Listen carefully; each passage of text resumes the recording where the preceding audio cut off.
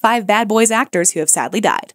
Bad Boys was a 1995 cop action comedy film that featured Martin Lawrence and Will Smith as two Miami narcotics detectives who had been long term friends. They are investigating $100 million of seized mafia heroin that was stolen from a secure police vault.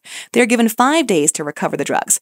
Bad Boys featured some of the biggest names in the film industry, who included Martin Lawrence, Will Smith, Tea Leoni, Theresa Randle, Joe Pantoliano, Marg Helgenberger, Nestor Serrano, Julio Oscar, Anna Thompson, Kevin Corrigan, Michael Imperioli, among others. However, some of its cast members have sadly passed away. In another video, we will have a look at Bad Boys actors who have sadly died. Give us a like and subscribe to watch other interesting videos. Don Simpson. Don Simpson was an American film producer, screenwriter, and actor. He was born on October 29, 1943. Don Simpson was best known for producing Bad Boys, and the film turned to be a huge success. He began his career in the early 70s. He got a job with Paramount Pictures where he co wrote the 1976 film Cannonball.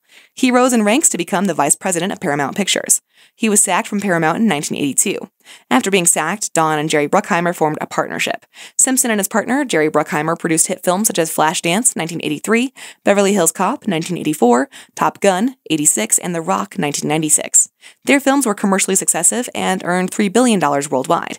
In 1996, Don Simpson was found dead in his bathroom. An autopsy report revealed that he died due to natural causes. He was 52 years at that time. Julio Oscar Mechoso. Julio Oscar Mechoso is another cast member of the Bad Boys film who has died in real life. He was best known as Detective Ruiz in the film Bad Boys. Julio had a successful acting career in both television shows and film. Some of the most successful films he has acted in include A Blue Streak, Jurassic Park 3, The Legend of Zorro, The Lost City, Inheritance, Last Weekend, Machete Kills, A Dark Truth, the Baytown Outlaws, Wizards of Waverly Place, Magic City Memoirs, The Big Bang Theory, Little Miss Sunshine, and Rules Don't Apply. He died after suffering a severe heart attack in 2017 at the age of 62. Tony Bellino. Tony Bellino is another actor from the Bad Boys franchise who has died in real life. He acted as the drunk guy in the 1995 film Bad Boys. He began his acting career after starring in the movie Miami Vice. He also starred in films including 21 Jump Street, Fast and Furious, among others. Tony Bellino passed away at 67 years old. He is survived by four children and eight grandchildren. Will Knickerbocker. Will Knickerbocker is another cast member from the Bad Boys franchise who has died in real life. He acted as Officer Bill O'Fee in Bad Boys film. He began acting in the early 1980s. His first film to act in was Pocky, that was released in 1981. He charmed his audience with his awesome acting skills.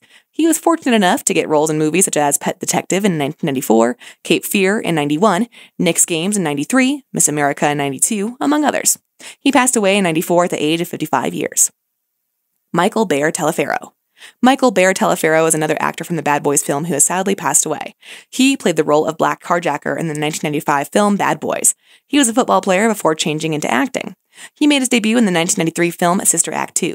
He also appeared in 2000 film Life and made guest appearances in The Jamie Foxx Show. Mike Taliaferro passed away in 2006 after suffering a stroke at the age of 44 years. Thanks for watching. If there's anything we've left out, do let us know in the comment section below.